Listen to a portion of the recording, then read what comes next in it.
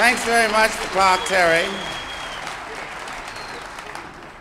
We have an album out titled Such Sweet Thunder, written by Billy Strayhorn and me. It's our Shakespearean suite. And of course, the quotation itself comes from Midsummer Night's Dream, but to us, it suggested a flavor of the conversation between uh, Othello and Desdemona, or rather, what Othello said to Desdemona. It was a rather convincing statement, you know. He won the girl, he married her, and uh, her father objected. When he took his uh, complaint to the floor of the Senate, the Duke of Venice inquired as to what Othello had said to Desdemona, and when they told him, why, he said, Well, if Othello had said that to my daughter, I'm sure she would have gone for it too.